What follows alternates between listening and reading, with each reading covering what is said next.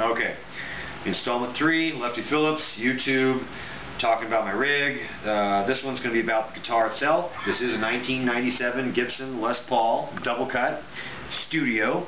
It's got 24 frets as opposed to the usual 22 frets that you'll find on your average Gibson. Wraptail uh, bridge, which is a real biggie for me. I love these things. Uh, master volume, master tone, three-way pickup selector, and it is a chambered guitar. If you look closely, you'll see that uh, there's plenty of open space here uh, outside of the control cavity. One of the interesting byproducts of this design is that the pickup placement does not match that of your standard Les Paul.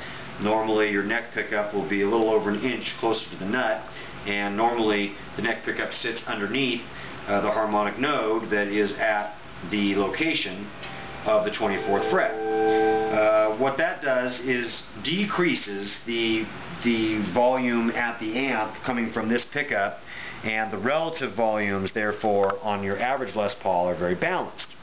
Unfortunately, Henry J uh, decided that it was all good to use the same pickups in this model as were used in your regular Les Paul, and the end result of that decision was that the bridge pickup sounded very quiet in comparison to the neck pickup. And uh, I went through a bunch of different attempts to solve this from uh, playing with 500k pots uh, briefly uh, to you know raising the pickup uh, within you know really just microns of the strings to actually physically coupling the pickup itself to the pickup ring.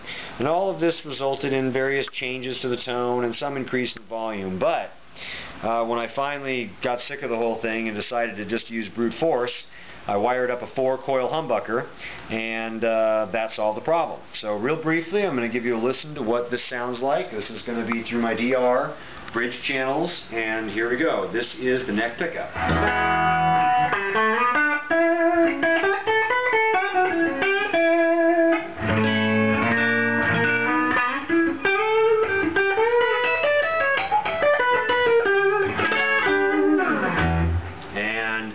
Number two position.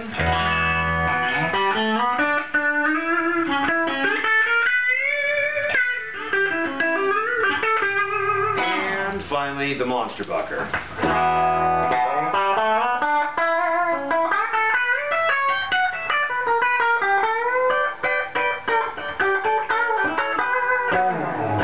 And as I flip through all of them, you'll hear the volume balance that's in place now.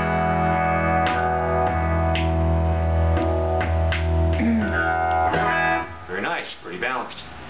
That's what it's all about.